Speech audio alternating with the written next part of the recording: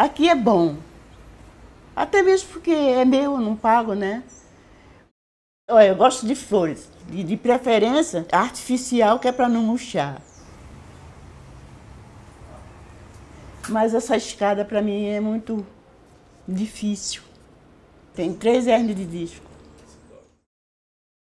Cada casa aqui, as pessoas utilizam de uma maneira. E eu tive muito contato com os arquitetos durante o longo da minha jornada como presidente da associação.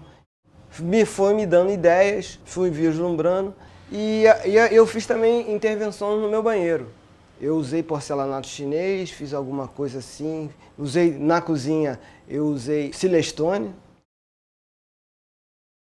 Como nós somos só eu, minha esposa e minha filha, um dos quartos, que eram três, nós transformamos em lavanderia, junto com uma dispensa, alguma coisa assim. E eu acho bem adequado, acho muito bom. Acho que se um dia a gente vier sair desse apartamento para um outro aí, em outro local, mas que seja recentemente construído, a gente vai sentir uma diferença muito grande, porque é muito espaçoso aqui.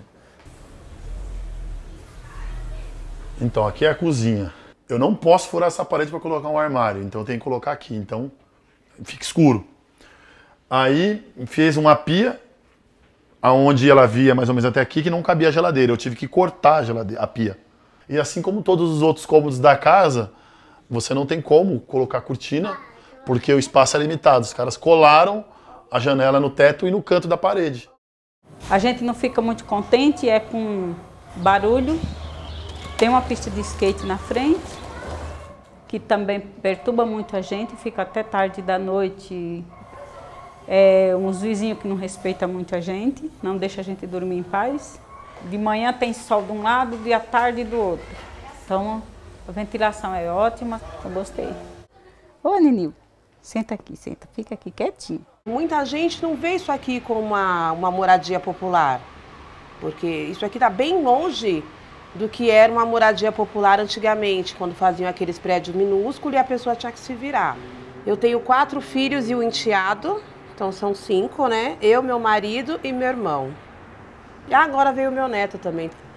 É, por ser um apartamento pequeno, a gente consegue. Dividimos tudo direitinho, cada um tem o seu cantinho. Privacidade é quase nenhuma, né? Se tiver todo mundo, mas como é todo mundo família, não tem problema. O problema é na hora do banho. Eu sinto lisonjeada, né? De estar num lugar onde todo mundo quer estar. Isso aqui é a minha lavanderia.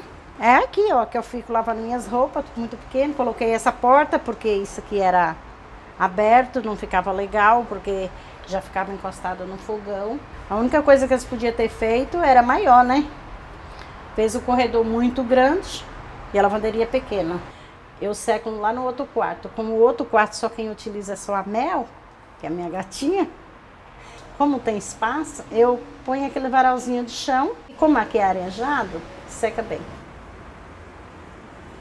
Eu sou solteiro, não tenho filho. Quando eu tive a oportunidade, fiquei sabendo que eu poderia tirar um dos quartos para fazer uma sala maior, eu fiz.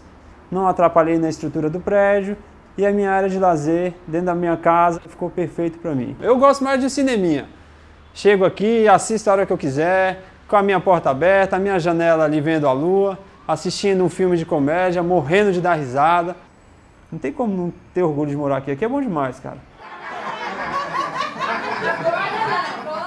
É, a maioria põe o balcão, outros colocam mesa. Cada um morador ele fez do seu jeito.